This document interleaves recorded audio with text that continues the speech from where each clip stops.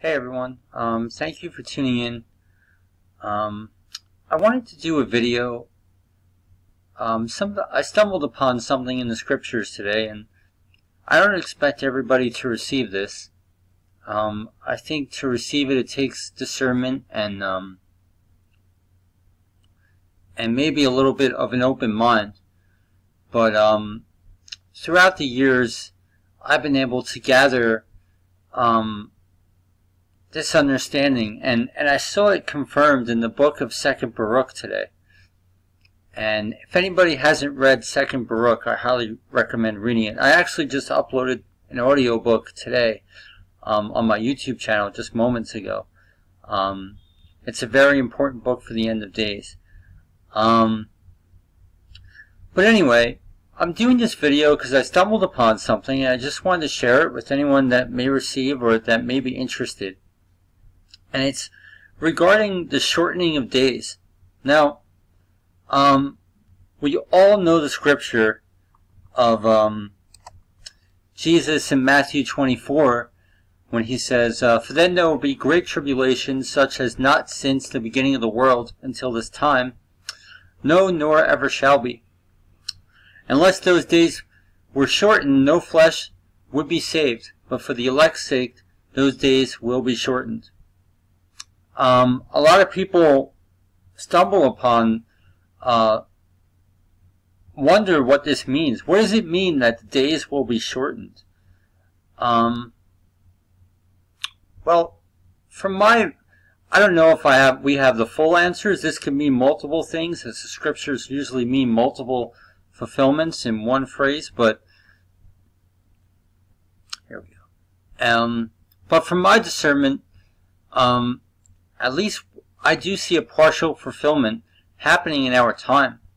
Now in Matthew 24, Jesus is talking about the Great Tribulation on just solely the Great Tribulation. But he didn't say these things would be happening gradually in the last days. Um, now, I want to show you a clip from a video, and it's not from it's from a sister, but not from someone who's exactly in Christ. But it's a reporting on an anomaly that I personally have noticed over the a couple years ago, back when I was in Long Island, and when this video came out, I was in complete agreement with it because I noticed that time seemed to be going by a lot faster. The clocks are all the same, but it seems the months and the days and the hours are just going by a lot faster. So uh, let me just play you a clip to show you that I'm just not crazy. This is actually being reported throughout um, our global society as a whole. Greetings, my dears, in love and light. I'm Nikki Sutton. Is time speeding up? Do you feel like time is moving quicker? So many are feeling like at the moment that time is speeding up, that the day has gone really quickly. I don't know if you've been experiencing this too, but if so, you're not alone. Many are feeling like there's approximately about 16 hours in the day, and yet the clocks still say there's 24.